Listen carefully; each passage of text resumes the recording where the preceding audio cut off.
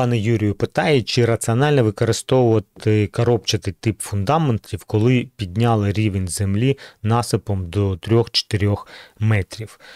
Е, Пане Юрію, я думаю, що навряд чи, тому що е, коробчатий тип фундамента він жорсткий в усіх напрямках, він повністю монолітний, густо армований.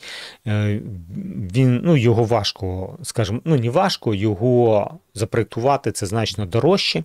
І якщо у вас немає якихось там проблем з ґрунтами, а ви тільки лише насипали ґрунт, ну ви можете розглянути, наприклад, монолітно збірний фундамент з тими ж блоками ФБС.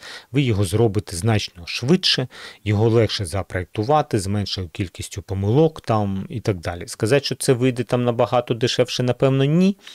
От, Тому що Тут виходить моноліт, він буде там 150 мм стінку в коробчатому фундаменті, а блоків БС мінімум 300.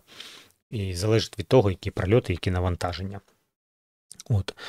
Е, але е, от з точки зору кількості помилок, е, наскільки легко знайти підрядника, ну, монолітний не виграє в цьому випадку.